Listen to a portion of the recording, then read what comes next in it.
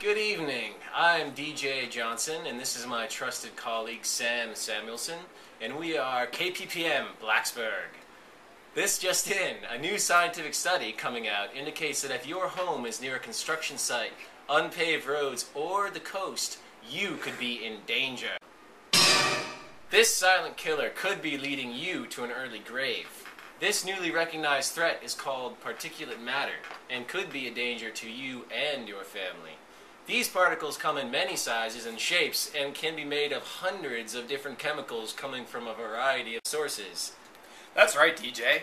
Now, this is a complicated process which involves complex reactions in the atmosphere between chemicals such as carbon dioxide, sulfur dioxide, and nitrogen oxides.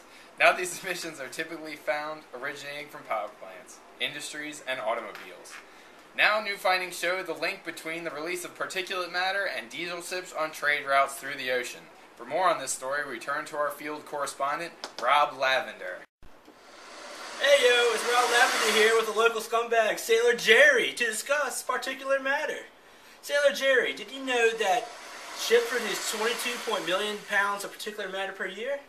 That is unfounded speculation. How can one prove such a figure? Science. Do you also know that 70% of shipping lanes are near the coast, representing major health concerns for coastal communities?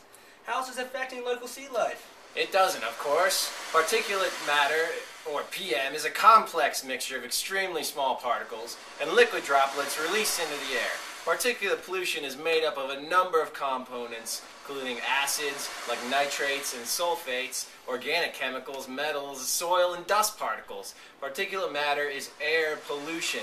How could you say this form of pollution affects the ocean and sea life? See, Sailor Jerry, that's my mom once told me. What goes up must come down.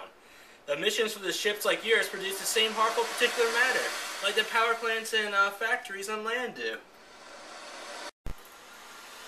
Yes, Sailor, Sailor Jerry, I heard your ignorant statements and I had to come up here and correct you. The particulate matter from your boat has many effects on the ocean. Interested?